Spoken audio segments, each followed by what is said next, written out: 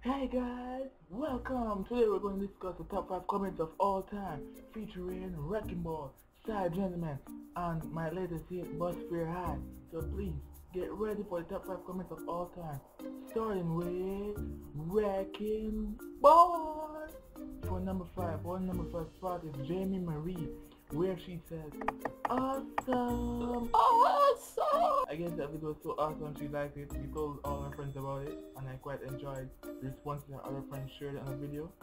And holding the number 4 spot, we have Courtney Lauren. She's a great friend. She's always supporting my videos, always encouraging me to make more.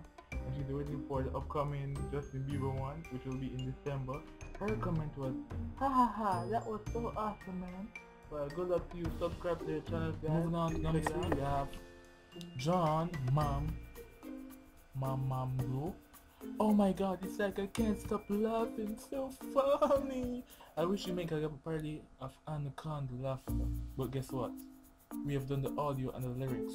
The video is what's left come. Move on to number two.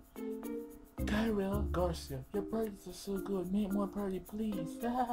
Guess what? We're making more parody, so please She's check it out. supporting my videos and she's been checking us out and so please subscribe to her. Number one, times are tough. Yeah, your girlfriends, of course times were tough.